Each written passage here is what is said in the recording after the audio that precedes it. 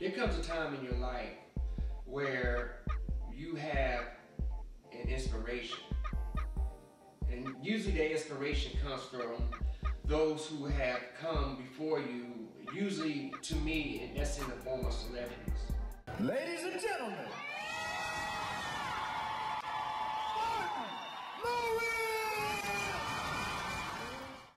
I've always been fascinated with celebrities and their accomplishments because they put together creation.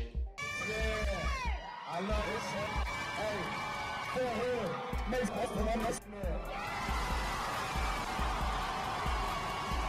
Yeah, yeah, that's right. Let them know we in the house tonight, y'all. How you doing?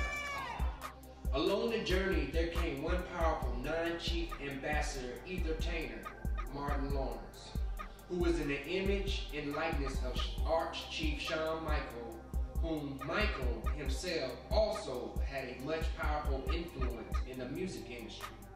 This, this is one of my second time performing at a military base. I, I never got the opportunity to do it. So when they asked me would I come, I said, come on. For the troops that serve our country. Martin graced the stage wisely, exposing the truth in the form of laughter, destined to excel beyond conventional thinking and wisdom, as if he was originally from the Crystal City. But, but look at y'all, man. I'm trying to get a good, get your picture. Shit, get it.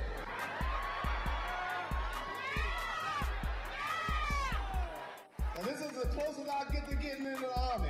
Because they wouldn't let me. And I don't know why. I tried the ASVAB test. They told me I failed that. So this is the closest I'm getting in the army.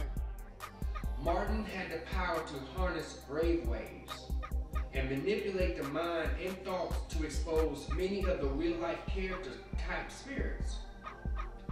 He was very inspirational to Caddy and very honorable nine-chief ambassador of all entertainers.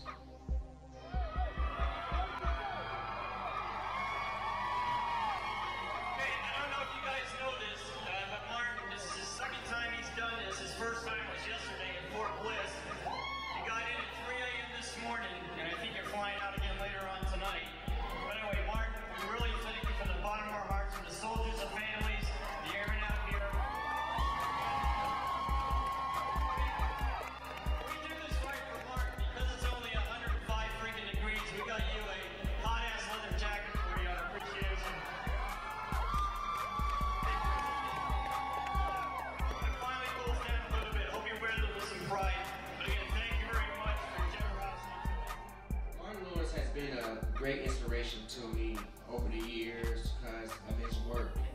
He's very remarkable. He's just one of those spirits, spiritual souls that when Martin Lawrence steps on the scene, hey, that's Martin Lawrence. He can't be compared to anyone. There's no need to say if he's better or if someone else is better. He's just a nine-chief ambassador, meaning that he's the center of it all. He's the royalty.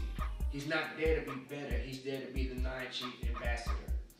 And so with the big influence that he had brought to me and millions, if not billions of people on this planet, I must say that he is very, very honorable. And he's much an inspiration as any of the great leaders and entertainers that have come across this day and time. It was an honor and privilege for me to give Martin Lawrence a copy of my book. How it came about, Martin Lawrence came to Fort Hood, Texas, um, and I was in the Wounded Warriors program at the time. So, you know, uh, this was a humongous deal to, to you know, Martin Lawrence coming to Texas, Fort Hood, Texas. You know, so the amazing thing is, uh, during the time this novel, uh, Nine Odds with Deceiving Faces, I had the Honorable Souls list and Martin Lawrence's name was there. Fortunately, I was able to meet him backstage and had the privilege of giving him.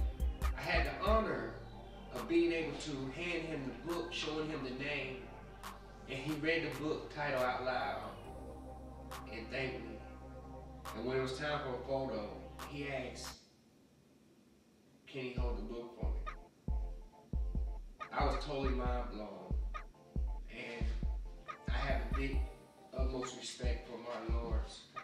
And that is why, um, you know, hey, it's not for promotion. It's to be standing next to the nine-chief ambassador. What more can you say? Martin Lawrence is one of the most honorable spiritual souls and great inspiration